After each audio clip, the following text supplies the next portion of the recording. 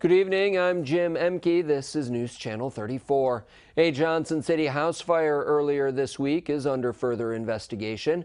The fire occurred at around 6:30 Monday morning at 307 Deyo Hill Road in the village.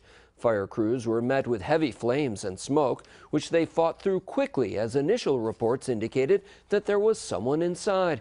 After a search, they determined that a mother and three children were not home, and the father made it out shortly after the fire began. The JC Fire Marshal says the father received treatment for burns at Wilson Hospital and was transferred to Syracuse.